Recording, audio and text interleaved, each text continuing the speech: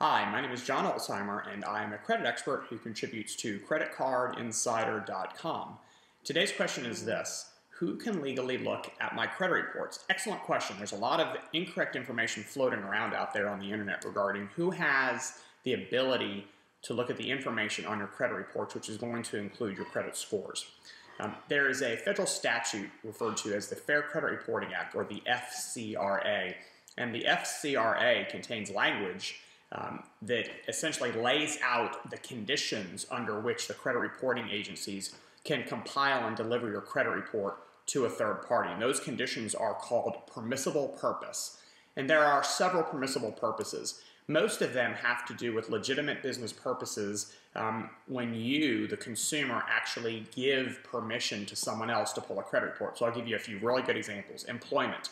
If you sign a uh, overt permission document giving your either current employer or prospective employer permission to pull your credit reports, then you have just given them permissible purpose and then they can pull them from the credit bureaus without any problem. Um, additionally, if you want to go apply for any form of credit, whether that's a credit card, auto loan, mortgage, or changes to your current accounts, in other words, if you want to ask your credit card issuer for a credit line increase or lower interest rate, you're essentially in every single one of those scenarios asking for some benefit from a creditor, which gives them permissible purpose to pull your credit reports. Some of the lesser known permissible purposes, but still are completely legal, um, when you ask for your own credit report, so that's referred to as a consumer disclosure. The credit reporting agencies, when you give them permission, can actually release your credit report to you, which I wish more people would do. Not enough people do that on an annual basis, even though it's free. Um, collection agencies. Collection agencies have permissible purpose to access your credit reports actually for two reasons. First off, to skip trace, meaning that they're trying to find you and they're trying to get an updated address on you. Um, and then second, to determine your ability to pay, meaning are you a consumer who has the capacity to make a payment on a collection, or are you someone who is just so tapped out that you just simply don't have any extra money or any extra credit limits on credit cards for which to pay um, collection accounts.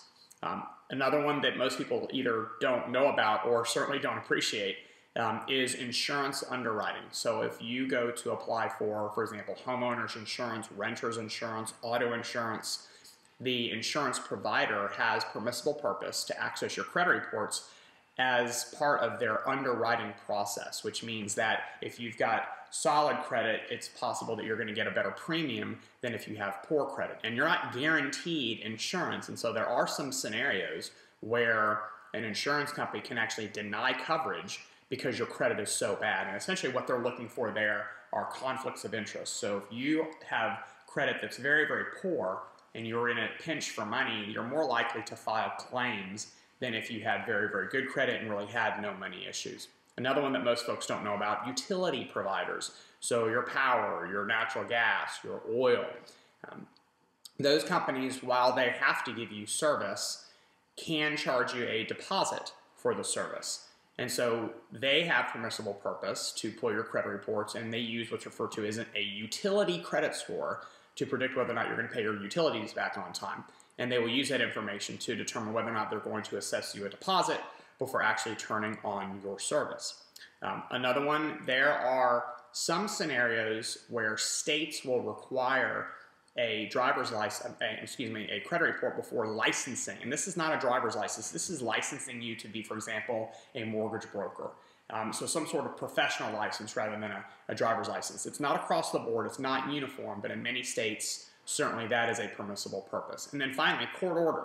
If you're in the process of suing a bank or a credit reporting agency or a collection agency, and um, as part of the discovery process, uh, the plaintiff or the defendants want to see copies of credit reports to assist in their lawsuit uh, efforts, then a court can order the credit reporting agencies to release the credit reports. But the two primary permissible purposes, the ones that get leveraged the most, are going to be consumers asking for copies of their own credit reports or scores, or B, someone actually out there applying for some sort of credit benefit, thus giving a creditor um, permissible purpose to access the credit reports.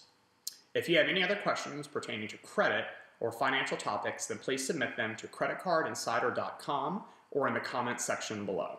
Thanks for your time. Have a nice day.